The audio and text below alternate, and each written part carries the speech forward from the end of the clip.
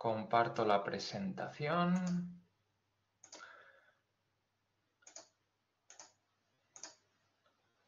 Que esta presentación está enfocada a la interacción entre el REA, que es lo que ha explicado Elena y que después ha complementado Laura. Bueno, esto también es el bloque 3, es la relación del sistema integrado de gestión y control con el, eh, el registro de explotaciones autonómico.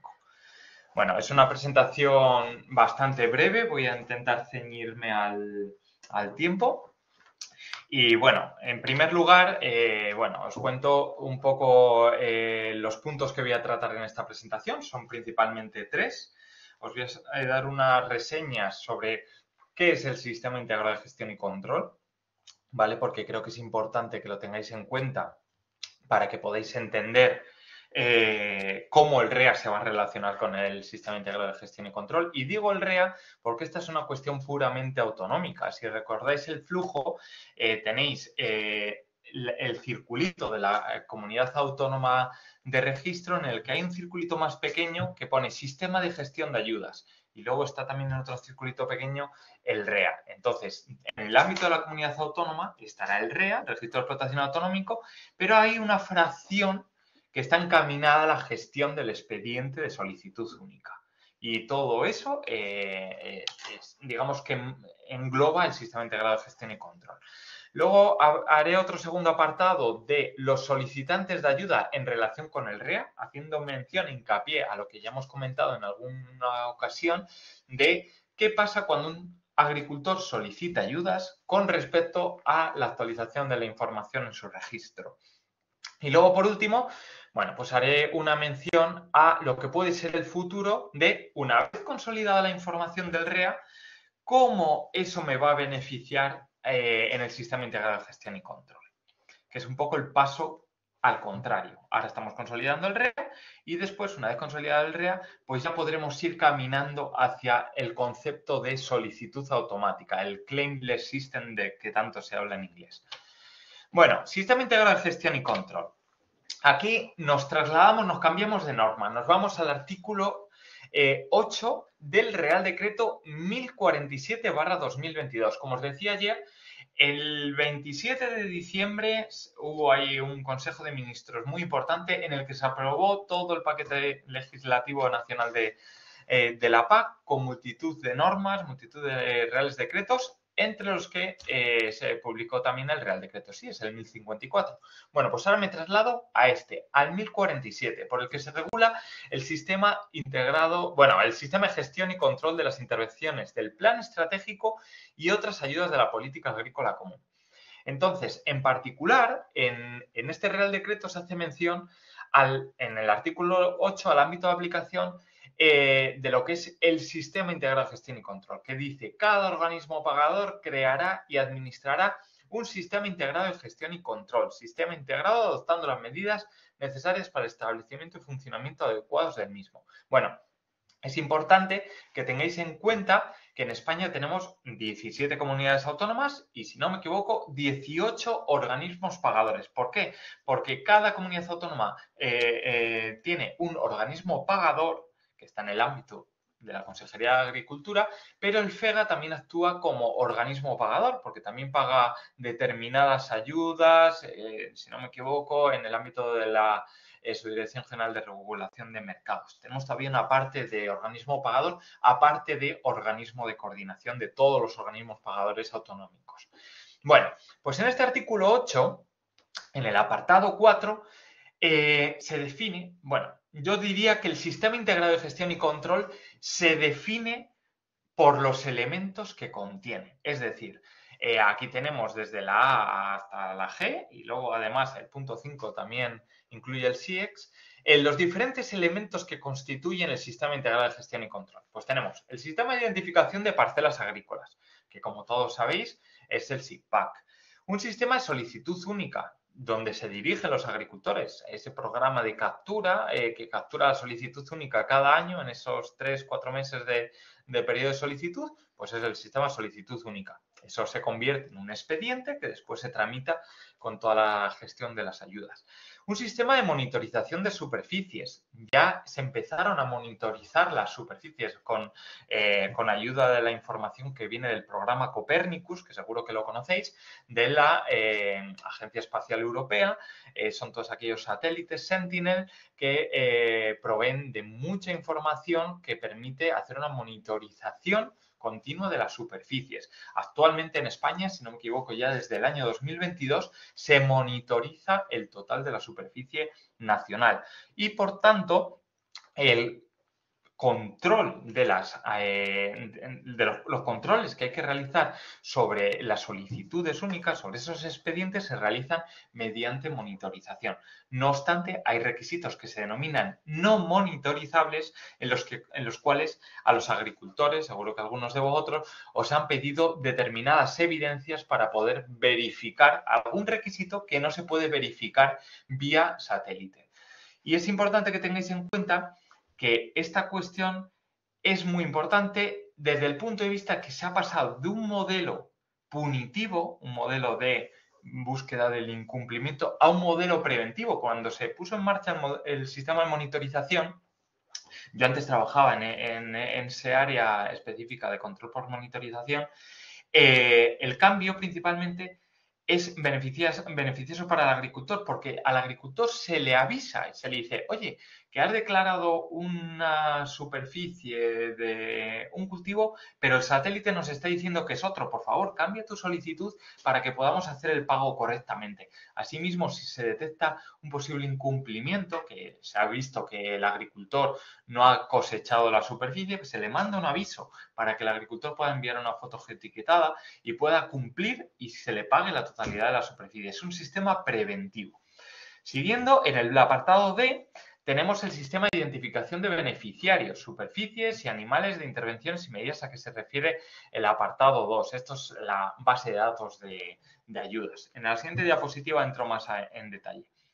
Luego hay un sistema de control y, penalización. Obviamente el sistema de monitorización es un sistema preventivo, pero si el agricultor no realiza ninguna enmienda a ese trámite de audiencia, a esa petición de la comunidad autónoma, eh, finalmente puede tener eh, una reducción en, su importe de ayuda y en su caso eh, determinadas penalizaciones.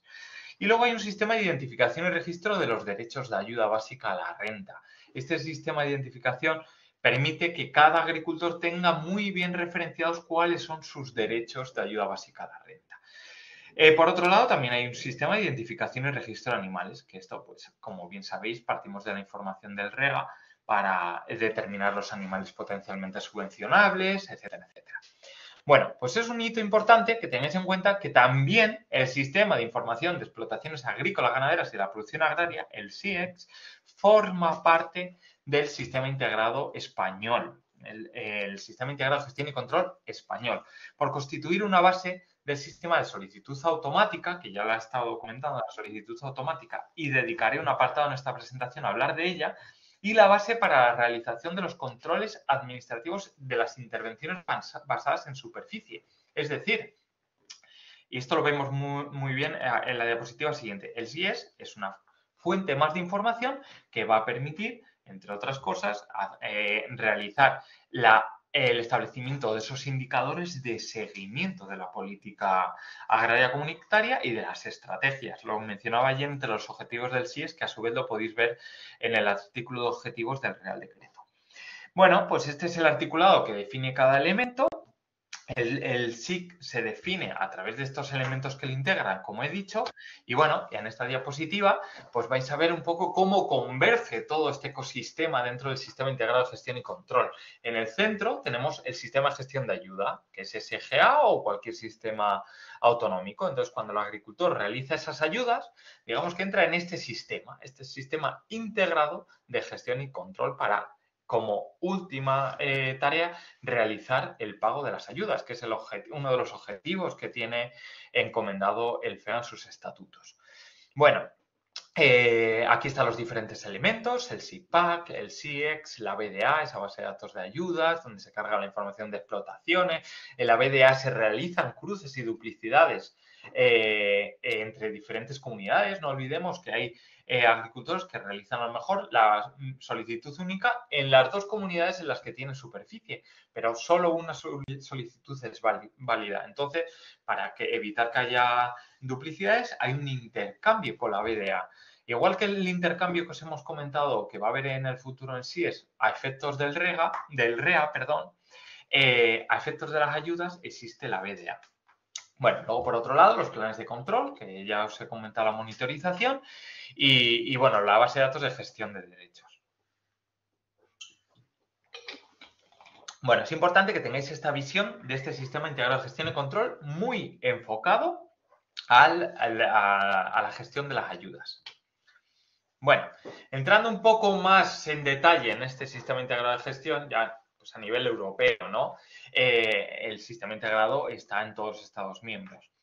Entonces, bueno, pues garantiza una correcta ejecución de las operaciones financieras, eh, prevé, descubre e investiga las, eh, las, irregularidades, aquellos pagos indebidos que se hayan realizado permite recuperarlos y bueno, pues también permite a los agricultores presentar su solicitud única y el inicio de su expediente, ¿no?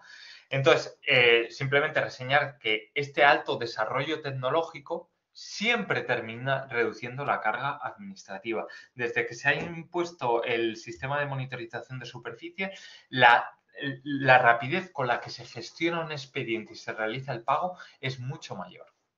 Y bueno, el fin último, que como sabéis, es garantizar una aplicación uniforme de las ayudas en todos los países de la Unión Europea.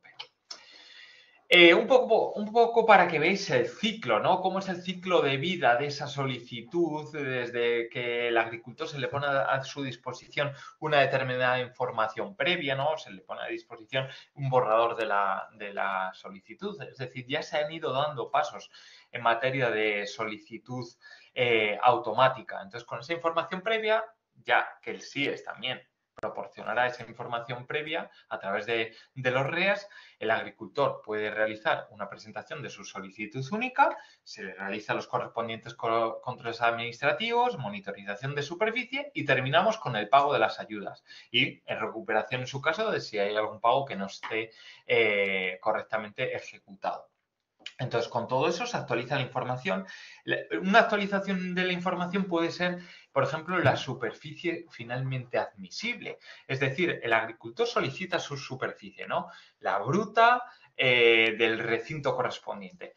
Obviamente, si es una superficie de pastos, se le aplica el correspondiente K, que puede ser del 100%, pero puede ser a lo mejor de un 60%.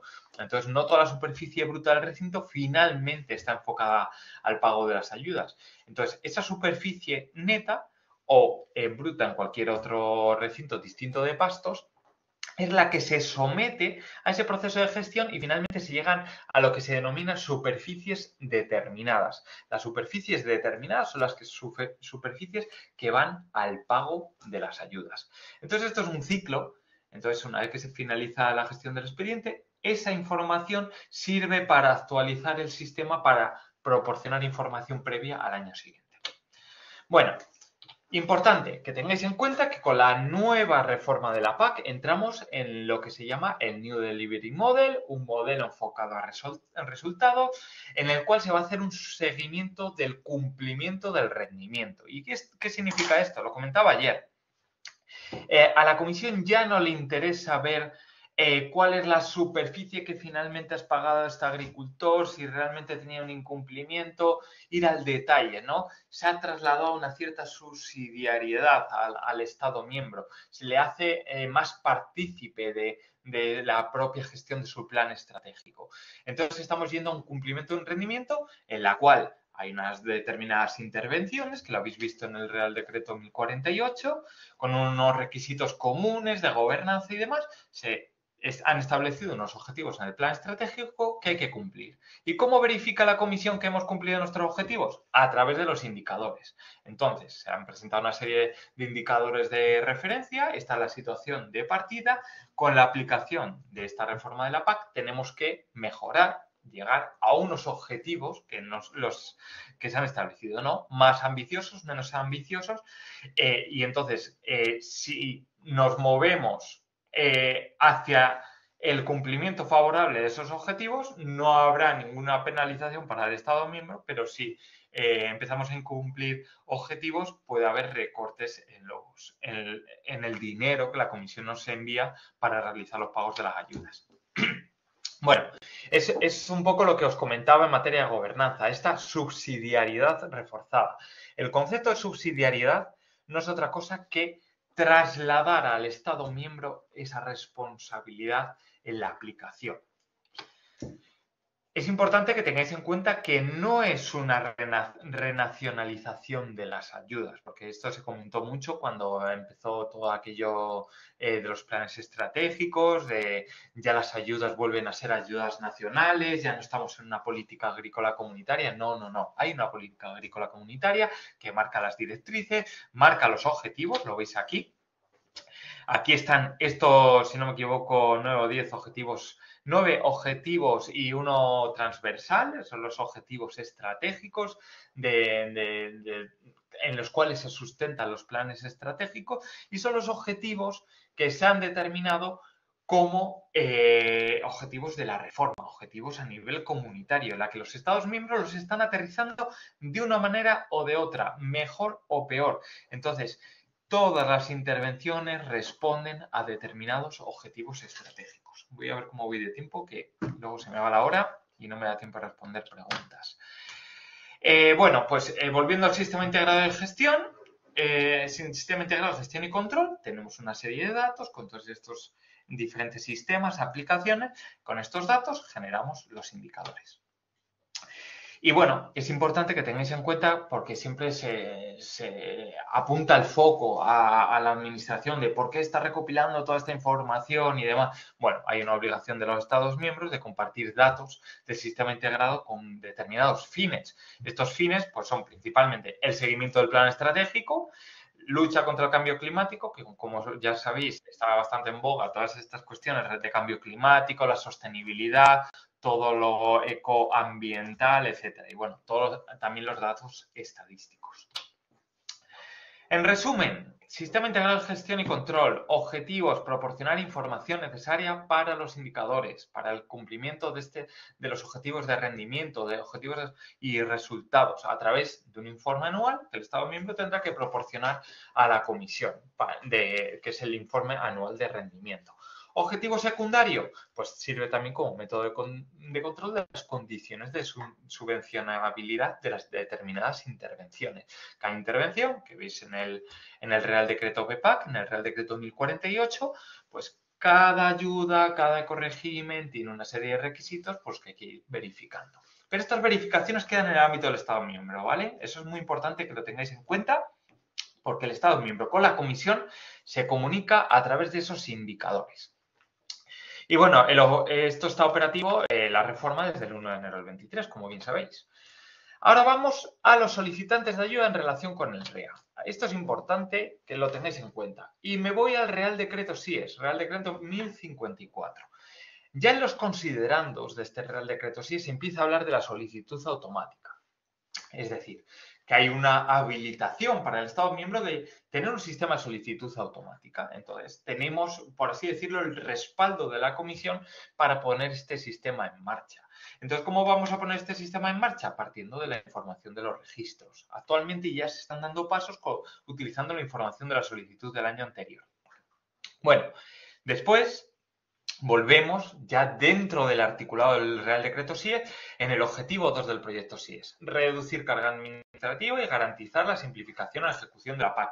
Como sabéis, la simplificación es la palabra favorita de la, de la administración, siempre lo vais a ver en cualquier discurso, siempre lo, perseguimos, hay veces que no, que no tenemos mucho éxito en lograrlo, pero bueno, yo confío en, que con los pasos que se están dando en materia de digitalización, en materia de interoperabilidad, llegaremos a un punto de ventanilla única, llegaremos a un punto en el que eh, conseguiremos simplificar la vida del agricultor, que el agricultor tenga toda la información de su explotación en un único lugar y muy importante, que aquí el, Real Decreto SIES también persigue este nuevo objetivo, poner a disposición del agricultor la información que tenga la administración para que sea útil para su gestión empresarial y sobre todo, muy importante, para llevar una automatización y conseguir una mm, optimización de sus recursos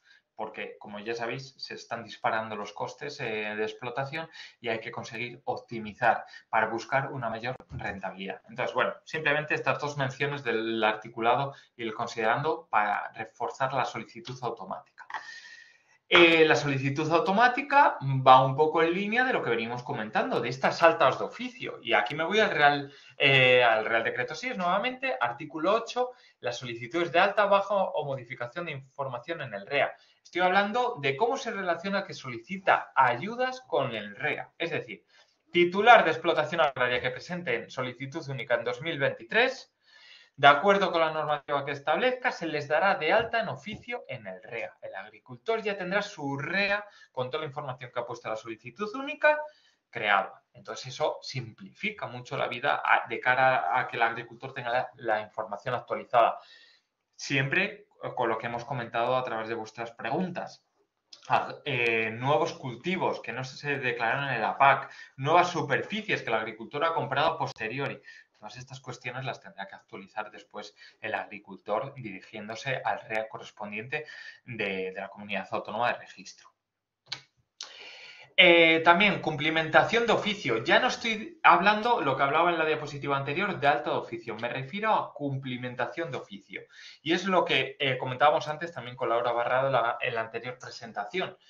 Los agricultores que solicitan ayudas toda la información de datos de superficies, datos de cultivos, se cumplimentará de oficio por parte de la Administración.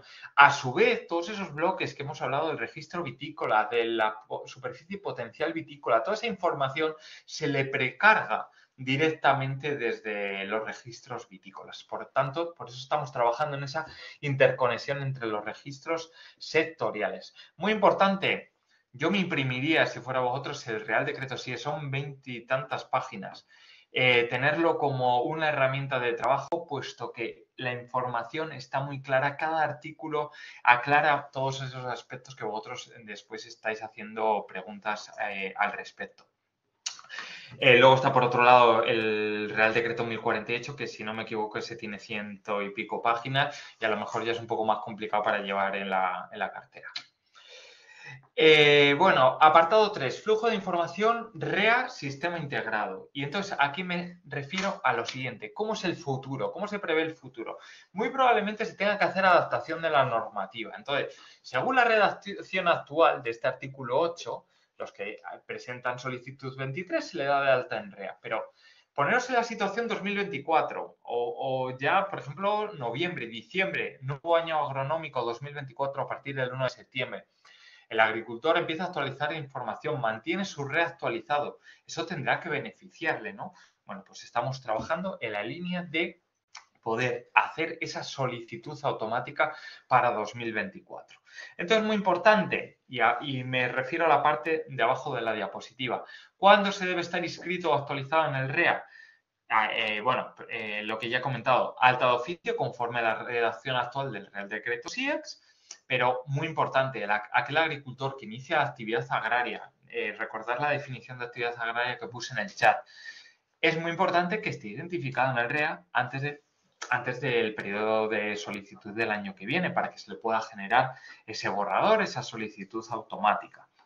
No olvidéis que una cosa es el registro, que es una información de ordenación del sector, y luego, por otro lado, tenemos ese sistema integrado de gestión y control donde se gestiona el expediente de ayuda y donde a la información de las superficies se le añade un nuevo componente que es qué ayuda ha solicitado el agricultor y que hay que tramitar. Entonces, es como que se le, le superponemos una nueva capa a la información que hay en los registros.